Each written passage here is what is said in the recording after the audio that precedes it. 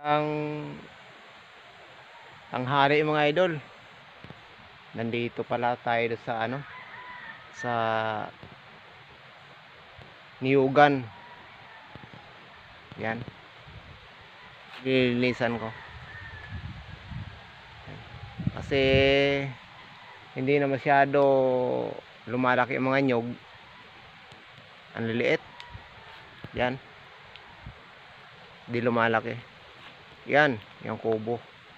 Dito ako pag tanghali nag ano, tutulog. Matagal tayong hindi nakapag ano nakapag upload 3 months 4 months pag ganon.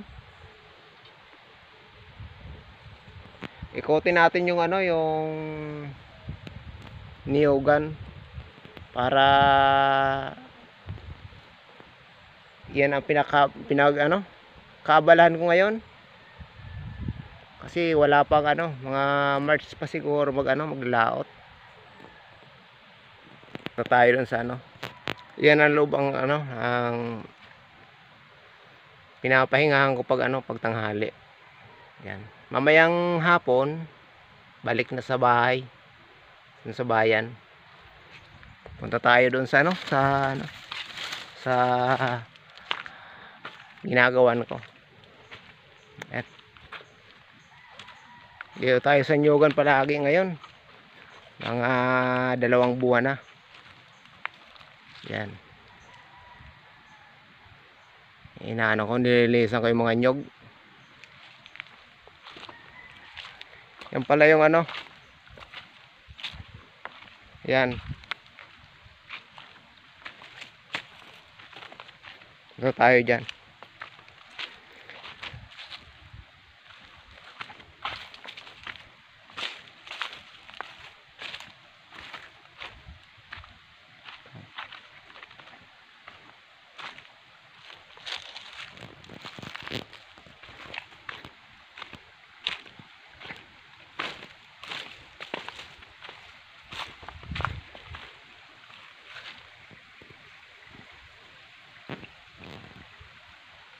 Yan pala yung ano, yung inuulingan ko.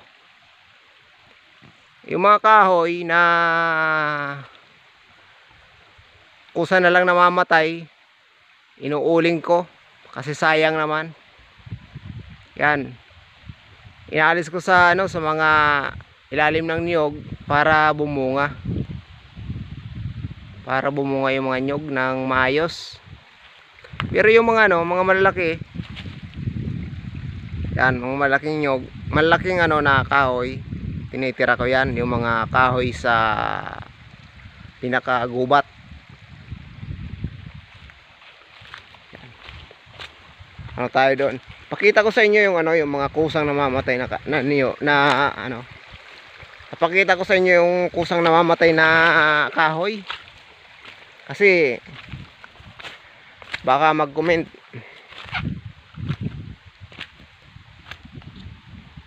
naman po lahat ng kahoy ano na lumalaki. Gaya po nito. Ito. Itong mga kahoy na to. Yan. Kusang namamatay yan pag malalaki na. Yan. Yan, inuuling namin yan kasi sayang naman at saka para maano para luminis ang ano tabi ng niyog. Yan. Pwede tayo. Yun. Yan ang pinakakabalan ko ngayon. Matagal ako hindi nakapag-upload. Dahil sa ulan, walang ano, walang magawa na ano. Ito. Ito pala yung sinasabi ko. Mga kusang namamatay na kahoy. Ayan. Yung mga yan. Ito. Kita mo yung ano pu- puno. Nagkakaroon ng butas at mga ilang ano yan, mga ilang buwan patay na yan. Yan. Yan ang pinakamalaki niyan. Yan. Ano. Nagkakaroon siya ng mga butas sa ano sa mga puno niya. Yan ang ano kinamamatay.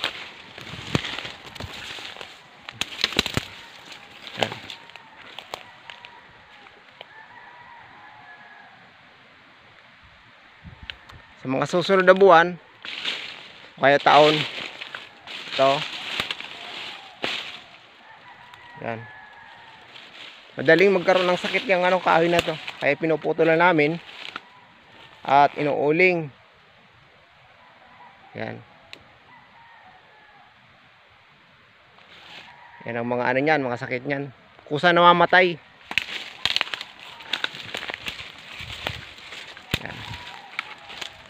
Kaya na pinakamalaki niya. Yung mga kahoy na yan.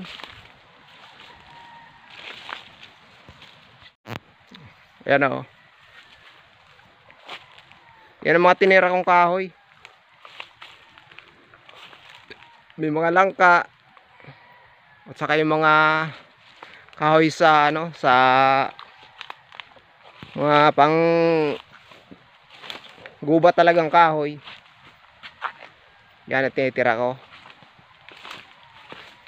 Yan. So susunod na mga ano, mga taon, Gaganda ng mga bunga niyan. Ano?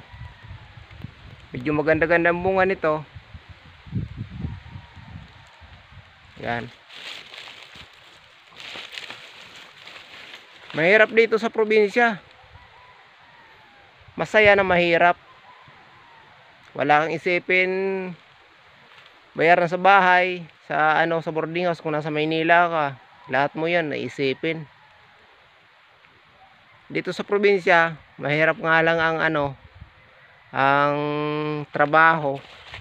Pero wala ka nang isiping ano, may budget ka lang na pagkain. Okay na. Maraming gulay eh. Yan. Kawawa ng mga nyog. Kasi hindi masyado nakakabunga. Gawa ng maraming kahoy. Kaya yung pinuputol ko na.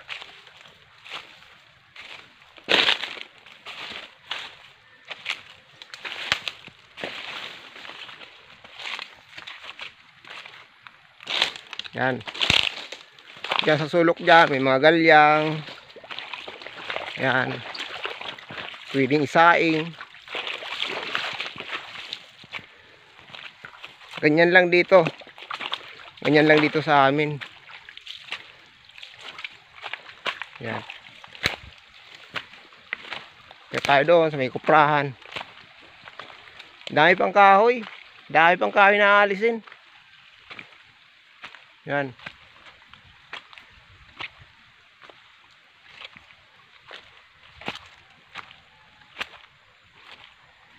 Sa mga susunod na taon, gaganda na ang aangat na yung ano nito, bunga ng niyog. Dahil sa ngayon, mga 4,000 yata. Umababa sa 4,000 ang nakuha. Kaya mga langka,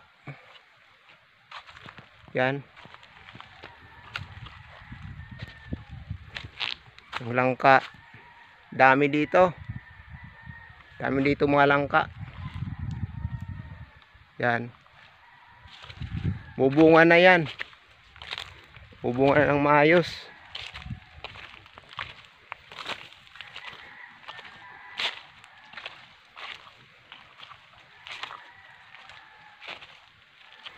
Dami ng ano dito. Ng kahoy pa oh. Kailangan pang alisin.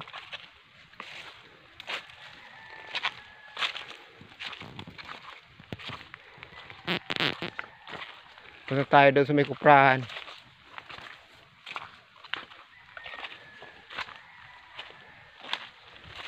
Yan lang ang ginagawa dito. Probinsya kapag may kaunti kang kuprahan, kaunti kang nyugan, magkukupra. Alagaan mo lang ng maayos ang ano nyugan.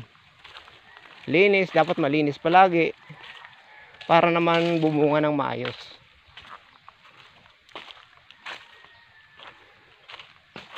Ayan. Pakyat pa yan doon.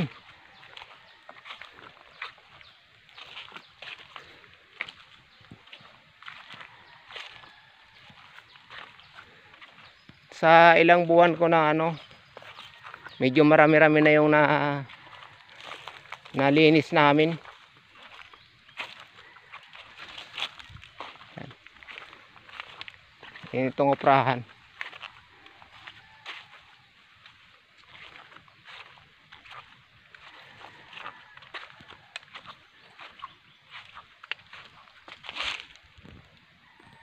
Yan. Marami-rami na ang ano ang nalinis. Yan, sarsare. May ugob. Yan. Ito yung kuprahan. Yung pinapatuyo ng ano ng niyog.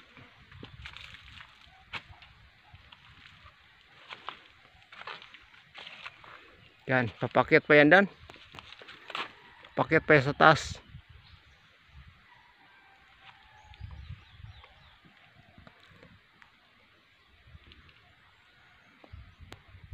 Yan. Yan, may gulayin ugob. Pag gusto mo maggulay, pag gusto mo ng, ng buko, marami.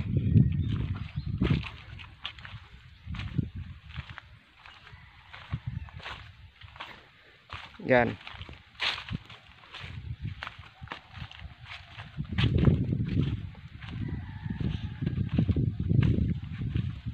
Matagal kasi hindi na ano to naaalagaan. O ng kanya-kanyang ano, kanya-kanyang kanya-kanyang gawain. Sa ngayon, medyo ma ano na, bubunga na ng maayos 'yan. Yan. Yan oh.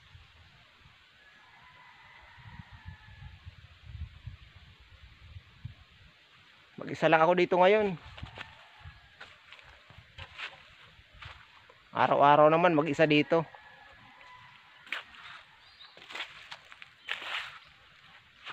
May kasama lang ako pag nagkukupra. Yan. Medyo malinis na paikot ng ano ng kuprahan. Marami diyan, maraming dapat napakinabangan. Gulay, gulayin, boko, kung gusto mo ng boko, kung gusto mo ng ng pili, marami diyan oh. Yan, ugob. Yan. Gaya ng sabi ko, ma- masaya dito sa probinsya kapag kapag nag ano, maayos ang bunga ng niyog, maganda-ganda yung kupra. Saka dapat dito marami kang ano, maraming gawain.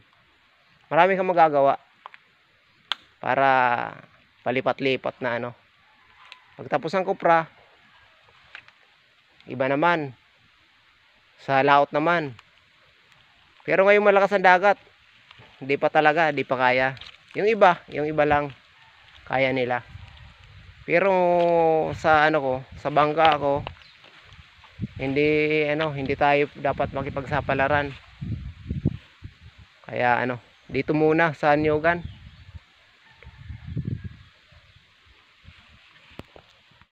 Yan oh. Ang hihina ng mga ano, mga bunga ng niyog. Dahil nga sa maraming damo, maraming kahoy na yung sa, kahoy sa gusto tawagin sa amin. Yan ang inaalis ko. Ah, dyan. Ang bagsak niya dyan sa ulingan. Yung mga kusang namamatay na kahoy. Mga hindi lumalaki. Yan.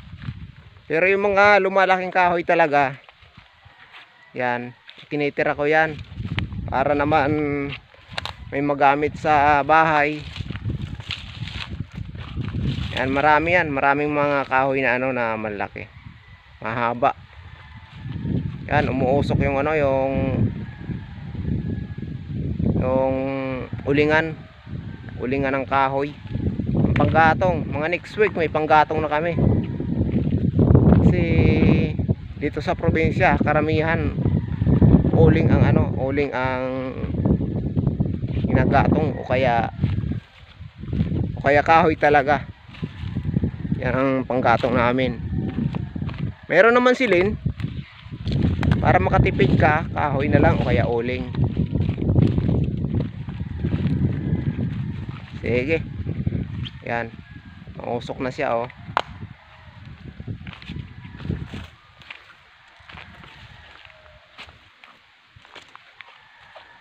Punta tayo doon sa Kobo. Yan.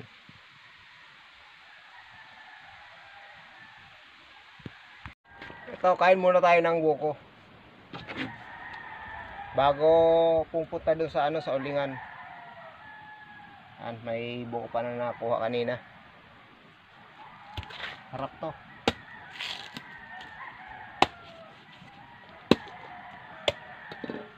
Tama-tama lang. Yan.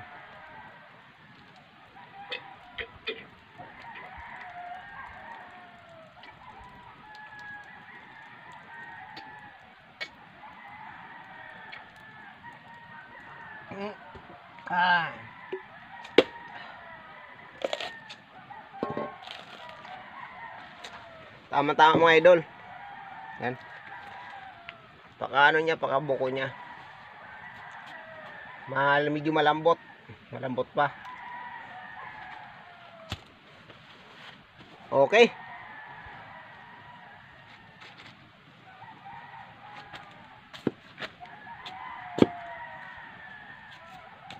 Sara. Ito rin. Ano ng niyog. Yung kinuha din sa sa may puwitan ng niyog. Yung ginagawang kutsara.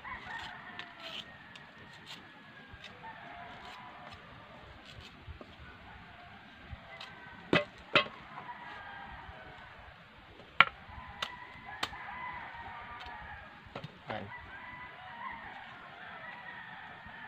Oh. Medyo malambot.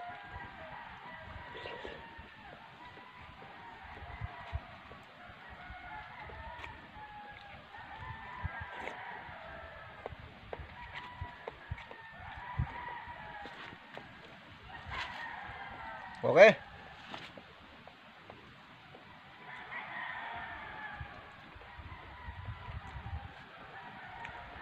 Bay na lang muna mga idol.